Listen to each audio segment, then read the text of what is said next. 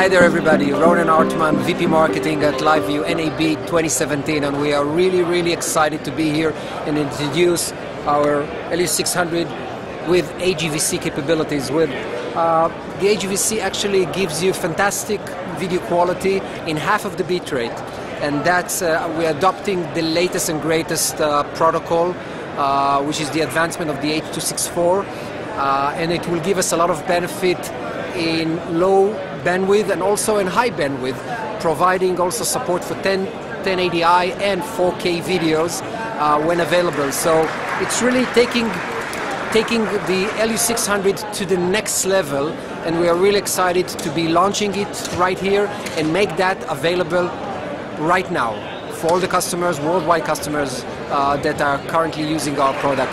Now, the beauty of the things is that if customers are using the current LU600, all they have to do is just buy the card or get the card and plug it in, replacing it with the old card, and that's it. That they have an upgraded unit, so they don't need to buy a new LU600. It's just upgrade of the video card. So this year we're very excited to host the team from Beaterific, producing content for uh, the website, for the Beaterific website, and also syndicated to the LiveU Facebook uh, page. So we'll have a variety of speakers uh, from industry leaders coming over to our loungy type of studio that is part of our website, part of the, um, our booth.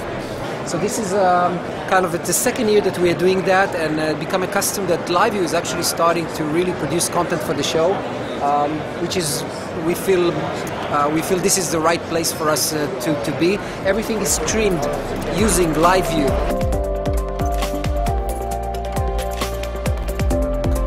So LiveU Solo, our online solution, um, what are we showing this year is actually uh, a cloud-based graphic engine that I think that was a that was a request coming from a lot of customers that doing online production. How can we do titling? How can we do as online statistics? How can we do that when we're using a cloud-based uh, solution? So that's exactly what we are introducing uh, this year, uh, a cloud-based uh, character generator uh, that allows you to do uh, lower thirds and bugs and putting everything on screen and really uh, give a professional look for any online video that goes out there to the web.